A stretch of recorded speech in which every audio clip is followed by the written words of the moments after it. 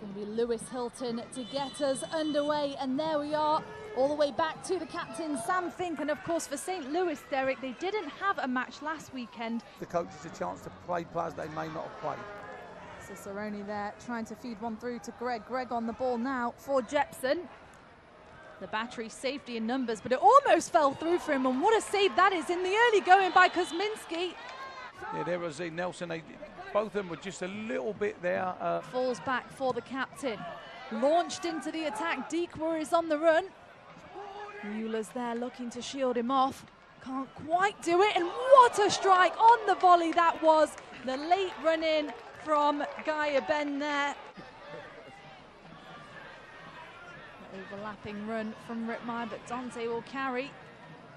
Zeiko Lewis brings it down in the box. It's Arthur Bosua gets the head on it, just wide of the target. he's trying to do there's that little flick over, look, and it's just took a deflection. And you can see what he's trying to do. He's trying to head it into the top corner. Here comes the through ball. It's a good one into the attack. Could this be a chance at the top of the box? Deekwa and denied by Jared Van Schaick. Veteran play from the defender with the mainstay at the back. Marini leaves it for Lewis. It falls for Marini. Marini with the strike. Couldn't quite.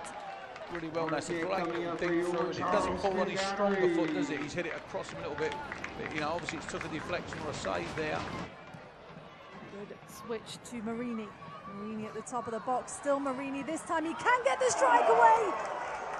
And Fenlason looked like he almost got a tap over, but that'll be a goal kick. What another opportunity for Dante Marini that was. It's a great touch. He gets a little bit fortunate here. There's two slips and it comes in, but when it's on that left foot, that's a great strike and it's not too far over the bar. Here he goes again. Let's see what he's got now. This is what, you know, I love to see him running. I love to see positive play by him when he gets into those Lewis areas. at the top of the box. It's a fantastic strike and an equally as good save from Fenlason at the Go, back. look, flies up in there, takes an upward bounce. That's a great strike, and that's going in the top corner. That's a great save, to be fair. Of course, the Battery do have their fans on their side. Unfortunate for the camera view. So many of them down below us. Here's a chance at the top of the box. Peppered with so much pace behind that one.